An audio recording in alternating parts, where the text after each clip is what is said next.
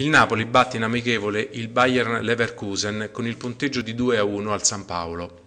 La squadra di Mazzarri prosegue quindi nel migliore dei modi l'avvicinamento alla Supercoppa contro la Juventus e lo fa scoprendo volta per volta il talento straordinario di Lorenzo Insigne. L'ex pescarese parte ancora nell'11 titolare e regala una prova piena di lampi di genio a fianco di Amsic e Pandev. E proprio sono questi di lampi che Insigne serve il pallone dell'1-0 a Maker Hamsik. Il Napoli chiude avanti all'intervallo meritatamente, ma viene colpito da un'incornata di Friedrich all'inizio ripresa per l'1-1.